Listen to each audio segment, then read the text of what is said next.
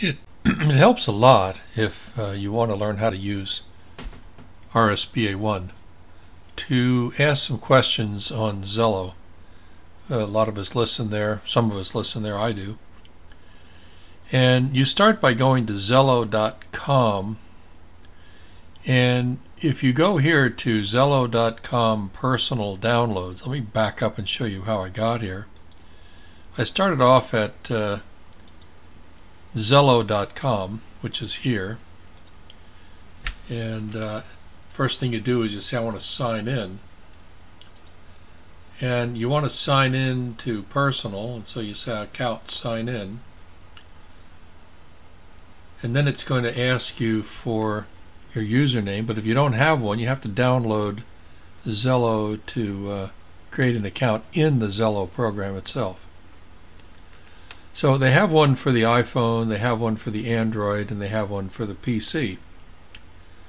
So you can get, if you have the iPhone, go to uh, the uh, store, iPhone uh, apps store. Here you go to the Play Store, and here you just downloaded right directly. And if you start here and you click on Zello for a PC, you will be able to get Zello set up, stick it wherever you want to, and install it. So after you get it installed, if you're on the Windows machine, let me uh, pause this and I'll bring up uh, Zello after I've installed it, show you what to do next. So when you bring up the account, I do have some already I'm not going to use uh, my account here. I'm going to say I need to create a new account. That's what you're going to do. And what you're going to want to do is the best way to do it is put in your call sign, probably all uppercase would be good.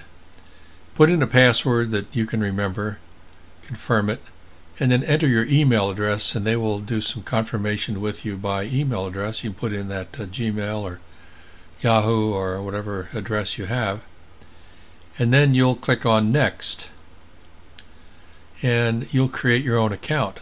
Once you've done that, when next time you run Zello, you'll be able to sign in. Now I have, you can have more than one account if you want to.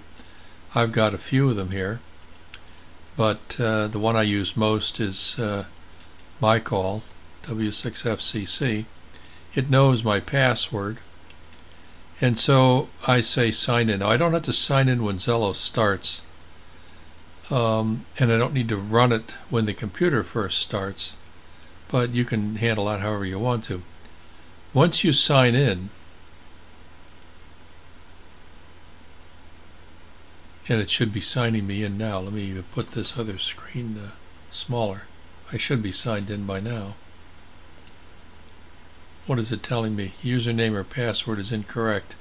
Now let me pause this and put in the right password. Hang on. It's always something when you forget your passwords. So you go ahead and you sign in and then you would uh, come over here and the first thing you probably want to do is go to contacts and try out the echo. You'll find it down here. You click on echo. Now that it's highlighted this button down here is a temporary. You just push the left mouse button and talk. Testing one two. Testing, testing one, two. Uh, this button here will lock the transmit key. It's like a push to talk button with the lock on it. So I would click it and I take my hand off the uh, mouse here and I'm checking this and then I unkey. And I take my hand off the uh, mouse here and I'm checking this and then I unkey. Okay, then what you're going to want to do is to search for a group that you want to join. Let me pause. That. So in the tools, you bring up the tools here, you can add a channel. So you click on add a channel and you look for the channel name. And to start with, try A-R-S-Z-E-L-L-O, Amateur Radio Station Zello, and say next. And here it is to talk about radios and what have you. Channel found, you should find that next. And then uh, the owner is me, and you can go ahead and sign on and say next. And now the channel has been added. And now you look in contacts, and in contacts you're going to find that ARS Zello in here somewhere. Where is it? Oh, it's here somewhere. Here it is. So you click on this, and now you're ready to talk. You key here and you talk and unkey over here. If you want to see who's on the channel, you can go ahead and right click on that and you can see who's online. Right now I'm online because I'm a moderator and then Rich, WZ2D is online. I don't know if Rich can hear me. Let's see. Uh, hey Rich, are you listening on ARS Zello? We'll see if he comes back. He might be listening and he might not be. But that's the thing, and it works similarly on your IO. Here, Jeff, I, just, just getting around to putting those resistors in. Holy cow. I thought I was going to have to wear three pairs of glasses. And then this is a bad place to be doing it up here. I should be downstairs where I can put the spotlight right on the, the in order to, look at the colors correctly and so on and so forth. But that, I got it down. It's pretty easy. Um, I'm, I think I'm putting the last resistor. No, I got a few more resistors to put in, and then uh, I'll put the capacitors in after that, and uh, I'll I'll lay them down on the board after I get them in, and just uh, you know stick the wires in through and just you know push them up close against the board so it stays like that until I get time to solder. I splay the wires out away from the side, away from the plate through holes, so they won't fall back in. You, you get them so they're offset slightly, so you can put a clip lead on them if you need to. You don't want them right against the board, and you can put a test lead on there, and then uh, you you bend them, you know, splay the wires out a little bit, and then it makes it easy to solder. Um, told you to use a voltmeter or an, or an ohm meter to check those resistors. I wouldn't go by just by the color codes. I'm doing a little video here about how to use Zello, so you go back to that. I'm going to finish up this video. Yeah, what I'm going to do, Jeff, I, so far I, I can identify the colors. I got the pairs of thick glasses on. Um, but before I do any soldering at all, uh, I will check them with an ohm meter against the schematic.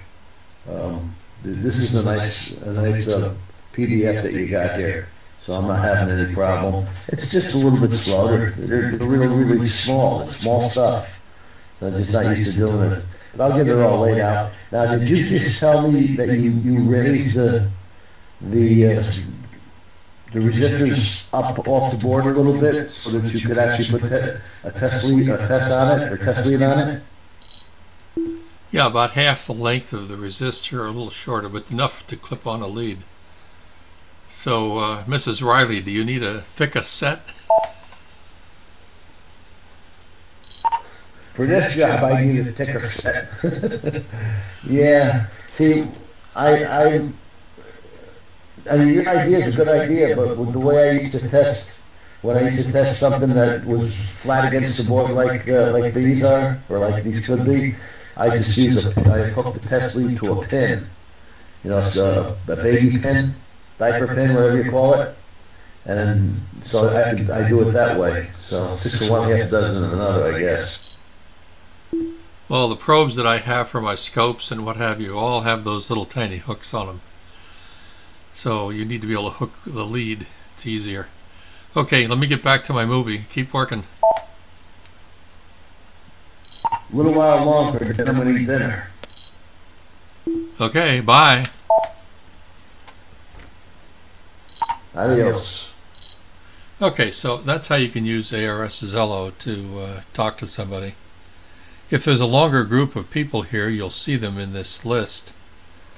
Um, but this is a good program to get, and you can ask questions, and I can see already uh, we've helped an awful lot of people set up RSBA1 over here.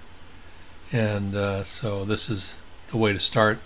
And we use both the uh, Android phones, which work really well, and the uh, iOS. I have an I, I have an iPhone and an iPad. It all works really well. So get yourself a copy of ARS Zello, and you can run it on anything and uh, create your your contact. Then you remember go here to Tools, and you add a channel, and you find the You channel. don't have to respond, but I'm And going to you get the ohm meter. Uh, the first two resistors were easy. the, the rest of them, I'm going to have to use the ohm meter. All right, you'll have to answer. Well, that's only if you want it to work. Okay, I'll talk to you later. All right, that's it. W6FCC. It's uh, November 14th, 2019.